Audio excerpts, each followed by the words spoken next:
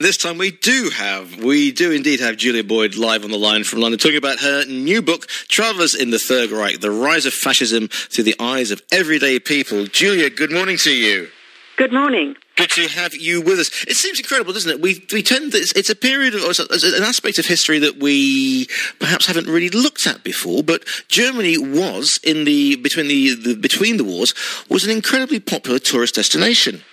That's right. Um, and it was a great surprise to me, too, I have to say, when I started researching this book.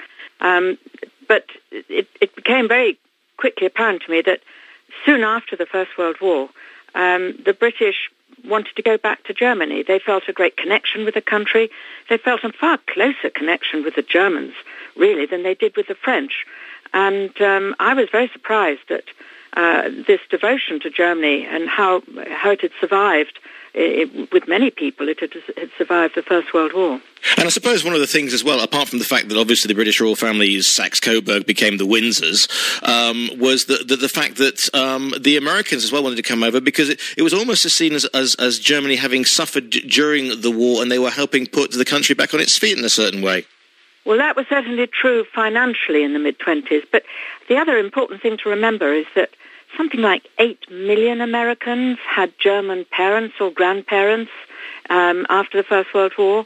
And uh, so, you know, they had family. They they felt very close to Germany. Um, so quite soon, certainly by the mid-20s, when Germany was also becoming more prosperous again, thanks to American loans, um, people started going there in great numbers. I have to say that uh, between the wars, it was mainly Americans and Brits who were traveling in, in Germany. Um, the French, uh, especially after they occupied the Ruhr in 1923, were deeply unpopular. Um, there was real hatred of the French, but the the Brits and the Americans were in a different category. The Germans wanted to be friends with us. They wanted to win uh, friendship and respect. And I suppose one of the things is it's, it's, interesting because obviously you're looking at a period from say 1920 through to really 1938. Thomas Cook were advertising Germany was still a, a, well, even 39. My own mother was touring around in Germany in the summer of 1939. Extraordinary, but uh, young people particularly were in Germany right up until the eve of the First World War, uh, the Second World War. And the thing is, I mean, the, the, the, you chart in the book the, the, changes in the political system because obviously 19, 1920s you have the Weimar Weimar, and Germany comes very, you know, Berlin is the place to go, and it's, it's seen as decadent, and mm, you know absolutely. they go they go for sun and, and, and a little bit of naughtiness. And, yeah, right on. right, well, to, well, you seem to have leapt into that one, Julia. So tell us a little bit about the naughtiness then. Well, you know, Britain was a pretty stuffy place. I remember reading. Uh, uh, one letter in a, in a correspondence column of somebody who'd just been in Germany and had seen everybody wearing open neck shirts and they stripped off. I mean, there were topless women playing badminton in the forest um, in in the 1920s, whereas he'd come back to England and seen a gardener mowing the lawn in 90 degrees with a, a, a three-piece suit on and a bowler hat. so, I mean, there was a sort of there was a kind of breaking out, an unstuffiness about, um, well, certainly in Berlin, although one has to be careful here because if you went into uh, rural Germany or to the villages and towns, it was it was a very different matter. And of course, people had hardly seen any foreigners at all, so they were creatures of great fascination and interest. And of course, uh, it also uh, Germany, with its history and its culture, and, Berlin and Berlin, we'll talk about Berlin in particular, uh, attracted artists uh, such as, uh, for example, Isherwood uh, went there. Of course, I think one can't um, overestimate the, the grip that German culture had on our, our own sense of education and civilization, and Goethe and Kant, and of course all the great musicians, Beethoven and Wagner and so on. So um, it, it, there was a strong feeling that you weren't really an educated, civilized person if you weren't familiar with, with German culture and language. Um, how much, though, did did you find in your research that how aware were tourists? Again, I can you can you can kind of say, well, during the twenties it's the Weimar, but after 1933, with the rise of National Socialism, um, how aware were tourists of of what was going on in Germany? I mean, the book opens with uh, a, a, tale of, of, of, a holidaying couple in Germany in the late 30s, and and they are approached by uh, you know a, a Jewish woman with her child, saying, you know, please take my child out of this country. Yes. Well, I think it's a very good question, and I think it very much depended on the individual who was there. I mean, some people were looking for it um, and interested and wanted to know what was going on. Uh, but my own feeling was, having spent about three or four years doing the research for this book, was that many people went to Germany having made up their minds before they even got there. So if you came from uh, the political right, you saw a country that was being put back on its feet by an inspirational leader. There was exciting infrastructure was being built. Um, the young, particularly the young, were very idealistic, wanting to serve their country and their community. There was a sense of vibrancy and energy about the country that many Brits felt was lacking here because there was a depression and the democracy seemed to be weak and uh, whereas in Germany, there was this sense of re- rejuvenation. Now, if you came from the left, of course, you saw a very, very different picture. You saw brutality, you saw suppression, you saw absolute clamping down on all free thinking and uh, individuality. So it really depended where you came from. But then in the middle, of course, you had tourists many of whom people like um, Philip Larkin's father, the, the, the poet's father, uh, used to take his family there, I think something like seven years in a row um, on holiday. And if you went there on holiday, well, you were charmed by the people who were so friendly and kind and the nice, clean hotels that were cheap and the women in their dirndls and the flower boxes and the beer and the happy school children singing in unison as they marched up a mountain. So, you know, it very much depended on you as an individual. There were, of course, the horrible signs outside every village saying Jews not wanted. But then there was a lot of anti-Semitism in this country, and people felt that, well, it may not be very nice what the Germans, uh, the way the Germans were treating the Jews, but, well, it wasn't really their business. Um, mm. So you get a huge variety of reactions. And is this, this... I think sorry, I was just going to say, I think in my own case, I feel that people should, after 1935, have been much more aware. 1935 was the year of the, the Nuremberg laws when Jews were stripped of their, their, um, their nationality. And there had been, Dachau had opened only a few weeks after Hitler came to power in 1933. There was the book burning. There was the, um, the, the boycotts of Jewish shops and so on. There was plenty of evidence but not everybody chose to see it. Mm, we've been, already been through Kristallnacht and all that, that entailed as well. There's, a, there's some wonderful pictures in here if you have a you know a slightly whatever sense of humour. But there's a there's a, one of the pictures that I, the, the, two pictures that I really made me take notice. One of them is, is, a is a is a British gentleman, you know, in his tweeds and his plus fours outside his, and you, are laughing because you know the picture. And he's got his caravan. He's sometime in somewhere in Germany, possibly Bavaria, in the mid 30s, and there he's got all the flags of the places that he's maybe going. And he's got you know I can see what looks like a there's definitely a Union flag there, and there's definitely what looks like maybe an Australian flag or a Royal Standard, and then there's there's a, there's a swastika proudly flying as well.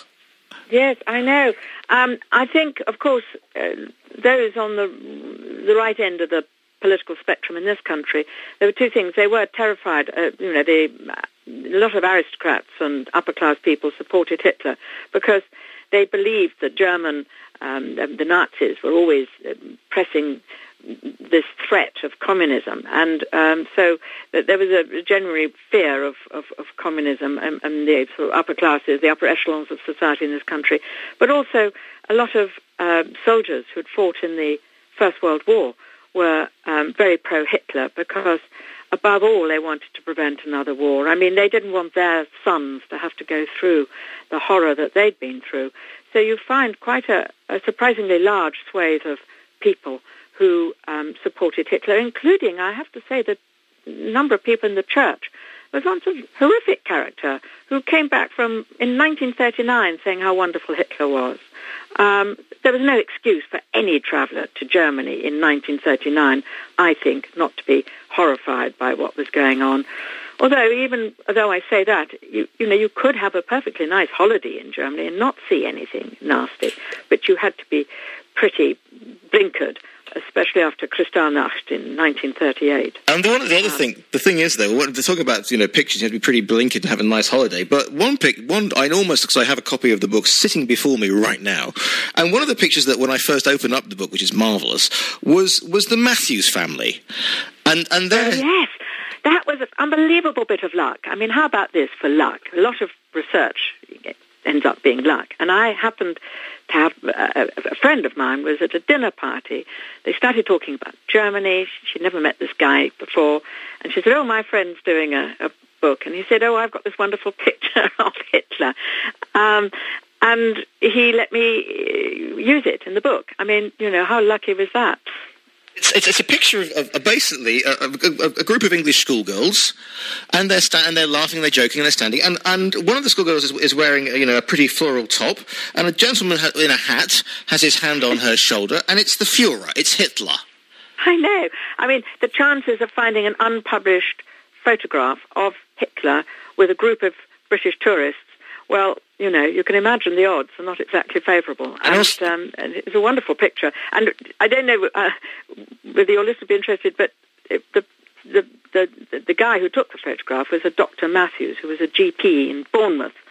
And he was very proud of this photograph, which he displayed in his, um, in his surgery. And um, after the war began, um, patients began to rather wonder about this. So a policeman came round and said, uh, well, Dr. Matthews, I think it might be a good idea if you put that particular photograph away until after the war. yes, it probably would have been a good, I, uh, probably a good idea not to have the picture of Adolf Hitler on your mantelpiece whilst you're fighting for the war's going on. Tell me a little bit about, we're talking about, because there's a World Cup on at the moment, in case you hadn't noticed, and, mm-hmm. and these big sporting events uh, tend to, draw, to bring tourists flocking to wherever they come. Of course, 1936, perhaps the most famous or infamous Olympics of them all was uh, 36 in Berlin. What did that have? What aspect did that have in terms of, of A, tourism, and B, there's some fascinating sales that, that some the athletes themselves, uh, some of the athletes from the American, especially the African American athletes, yeah. found Germany not to be as bad as you might have thought. No, I think this is this is this is one of the more sort of fascinating things that I, I thought came out of, of my research. Um, um, of course, uh, the, the the black athletes, the African American athletes, were hugely successful at that Olympic. It wasn't just Jesse Owen, there were, there were others. And what, what to me was so interesting is when they went back to America, they were interviewed, and um, the, the journalists were all longing for them to say how horrible and hideous the Nazis were. And I remember particularly one black athlete who won a gold medal said, well, I didn't see any uh, nasty Nazis. I saw only nice people. And, and this is a really telling thing that he said, I didn't have to ride in the back of the bus. And, uh, I mean, when you think about it, it, it is perhaps one of the reasons why many Americans were reticent about criticizing the Nazis because, um, you know, their own record, the way they were treating their own population, their African um, American population, was uh, was in many ways, one would have to say, comparable to what was happening in Nazi Germany. How how closely did German propaganda or Nazi propaganda then uh, work with the German, the German tourism industry and indeed companies, uh, British companies and American companies, uh, to promote this this vision of Germany as an Aryan utopia? Well, the extraordinary thing is that um, i think I quote it in the book. There was a Thomas Cook brochure um, published in July 1939, something like a month before, uh, a couple of months before the war broke out, saying, don't believe what you read in the newspapers. Germany is a lovely country, full of lovely people doing lovely things, and, or words that effect. And so the uh, travel companies tended to just turn a blind eye to what was going on and go on pushing holidays in Germany because um, they were so popular, and it was a very good, uh, it was a very good product, if you like, um, and it, it is extraordinary. Um, but I, I, think by 1938, 39, the volume of tourists to Germany had really been reduced to a trickle. Um, but certainly the travel companies were, were pushing it.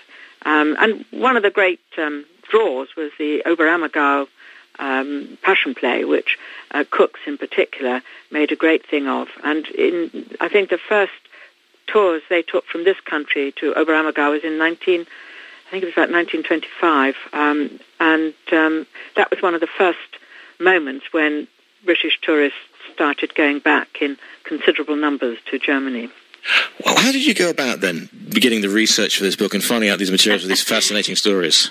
Well, that's a very good question. I'd have to say a lot of it, as I've just said now, is is luck. You you know you have a sort of random conversation with somebody on the bus um, who says, "Oh, I know this, or I know that, or I've got a diary, or my uncle Joe drove around Germany in 1936, and I think I've still got his journal." Um, so a lot of that. Um, there's a lot to be found in archives, of all over the place. Um, it's the sort of research you can't actually do without modern technology because I can find that there's a set of letters I'm interested in in in a University of South Dakota. But there's no way I can hop on a plane and go off to South Dakota every five minutes. But you, you then email the archivist, um, and they send you. They can scan the letters you're interested. So you know it's it's it's made an enormous difference to doing this kind of research, which is real grassroots stuff. And you spend a huge amount of time trying to track down rather obscure references. Um, 90% of the time, you probably are going to find a dead end, but that 10%, it's really exciting because you feel you're you're uncovering what I sort of think of as raw, unfiltered history.